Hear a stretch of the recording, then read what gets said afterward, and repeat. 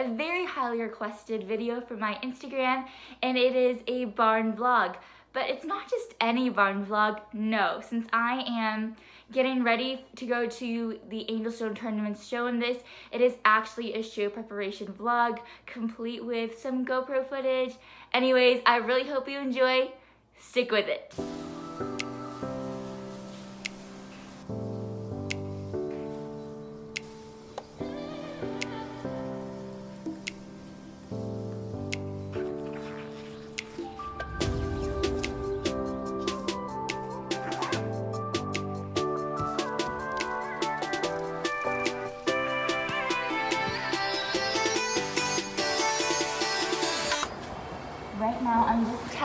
Tacking Lotus up and getting ready for our ride.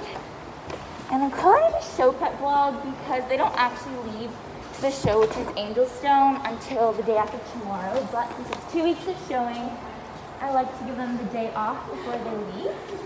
Today I'm just giving them their final rides, getting them all set up and prepped for the show.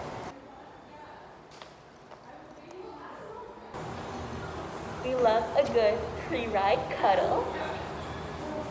It's a ritual.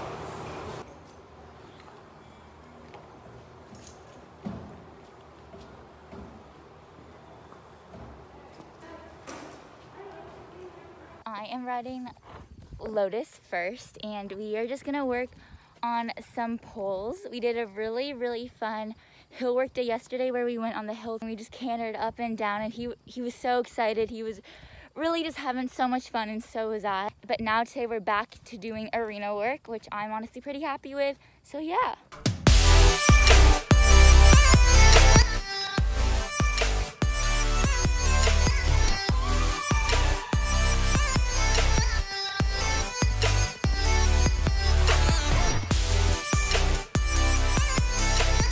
So right now, because of the coronavirus, our barn has a couple rules, which is why you'll see me wearing this um, inside the barn and gloves and everything.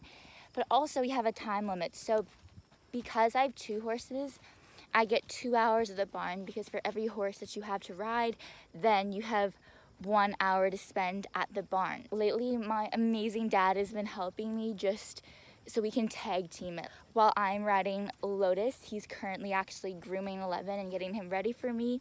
That way we don't have to sacrifice on ride time and we don't have to sacrifice on giving them prop proper grooming to fit each horse in that one hour slot.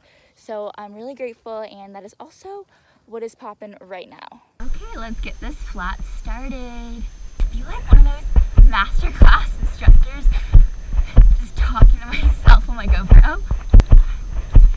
Oh, good distance. Whoa, balance. Let's bend you.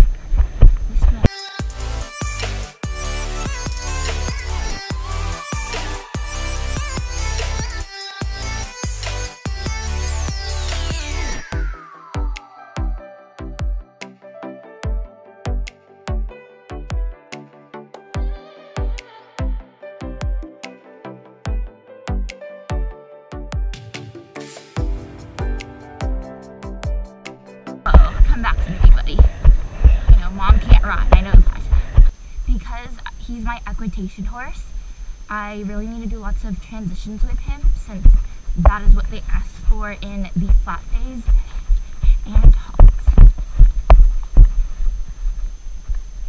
Good boy. Canter. So that transition wasn't as clean as I wanted. I wanted just like to go from walk straight to like canter with no trot steps in between and back to walk.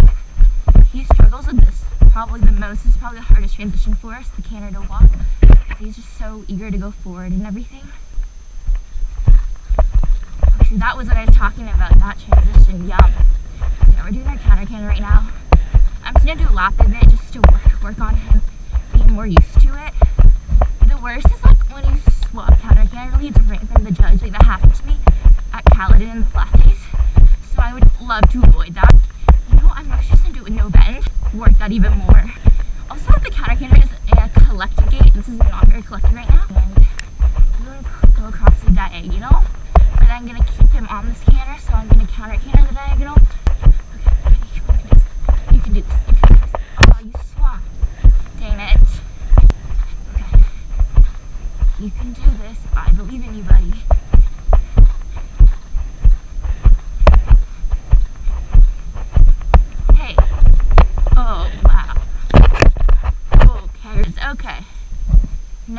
Yeah, he's really funny sometimes. I don't know if you can hear, but there's literally a helicopter or a plane. I don't know. I don't know my my aviation, but it's up there right now. So my dad is here now, and I think 11 is waiting at the barn for me. It's 11 time now. Sorry the lighting's kind of weird. It's almost nighttime now, so it's like the sunset and everything. It's pretty dark actually right now. Do you ever have like those days where your horses change size? Like today, 11 just seems super tiny to me. And some other days, they just seem like really big. Dad, say hi. Hi. He's back from his walk with Lolo, and I'm just starting to get 11 bridled up right now.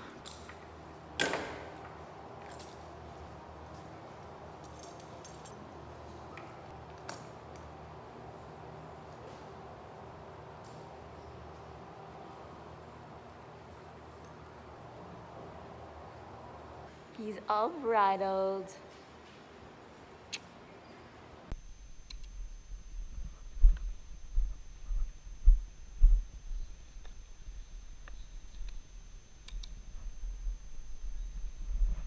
good boy. that was really rough. Good boy. Now it's 11's turn for a ride. We're gonna work on the same things with Lotus, except instead of doing all these transitions, since he's pretty good about them and we're not really tested on them anyway, I'm going to be spending the focus on extensions and collections and lead changes because lead changes are what we're struggling with the most. And also we're going to do some pole work because I haven't jumped or done poles with him since we got, actually since the show last week. So I definitely need to work on my eye with him. Peep the socks. They're like little foxes and I'm really living for them. We're going to do the pizza. But yeah, I love fun socks. I honestly love nighttime rides so much. Like I think they're just so peaceful and so cool. There's no heat. The only bad thing is that there's bugs and 11 hates bugs. I think it's so funny how different my horses are, but people don't realize that because they look similar. Like they're both tall bays with a star on their forehead. People just, I think, that because they look the same, they might ride the same, which is so not true. So for example, on the flat, 11 is definitely very quiet. He's pretty lazy on the flat. Like you really just have to make sure he's listening to your leg. Lotus, on the other hand, as you saw today, is quite strong and eager on the flat. If he's tired, then he'll be, you know, slow. And once they're jumping, they're both fairly quick. The sun's gone down already, so. That's also what I hate about, like, August weather. It's so sad, because, like, the days start to get shorter, because in July they're always getting longer. You're like, yippee, it's summer. But then in August, you're like, oh no, fall's coming, school's coming, the summer fun is coming to an end. Extensions and collections. Go, buddy. And collect. On the side Oh, okay, what was that?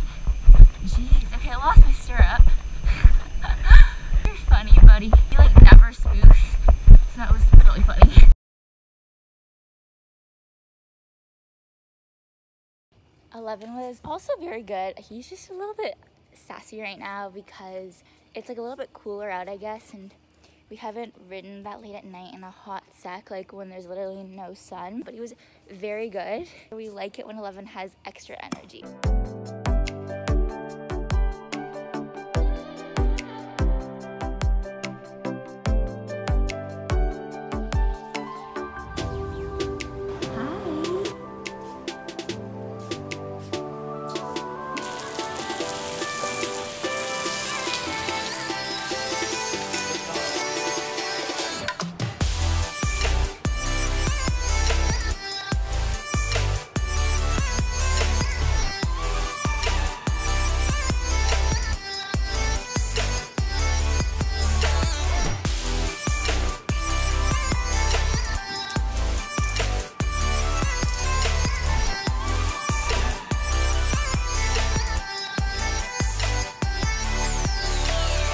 The boys have been ridden and now I'm just getting to my least favorite part of showing, which is packing. So currently, I'm just packing things that I rode in today. So my gloves, my crop can all go in here. My helmet's all in its thing and ready to go in. This bag are my tall boots, so that can go inside the trunk. Now here comes the tack. So we have Lotus's bridle and girth, have 11's bridle and girth, a running, a running martingale and a stud girth, and Lotus's hunter bridle and his standing martingale and some curb reins in case he needs them. So this is all the tack that I need to fit into what's left of the space in this box. Luckily, I get to take out all of his um, standing wraps and bandages, so that is just so good. So then I have that space to put his tack in. Speaking of removing, I'm also taking out these fun polos because that's added weight to the trunk that we don't need. Even though they're super light, it's still added weight and space. A packing tip is to always pack the hardest to fit items first. So the stud girth is pretty big and it takes a lot of space. So I'm gonna shove it in my trunk first. That way I don't have to worry about it later. Before the trunk is totally squashed, I'm just gonna show you what's in here. So I have obviously my crops, one for schooling and one for showing here my show pad, a bathing bucket with a liquid and just some of my soaps. And then over here, underneath, I have obviously the boots, but then I also have um, different sprays. And then in here, I just have my little essentials that I need, like treats and spray and leather care, etc. This is the end result of what's in here. So I have my girths here and my flash and my extra curb reins. And then here are where all the bridles and martingales are. We're all packed, so that is great news. Here, I'll show you what it looks like. We have my saddle on top, and then we have my two sets of wraps for the boys. We are all packed, yay! I hope you enjoyed that vlog. I sure had fun making it. And now, of course, we always end them with treat time for the ponies. So here you go. Thank you for watching and subscribe for more videos like this. And if you enjoyed it, like and comment and share. We'll see you next time.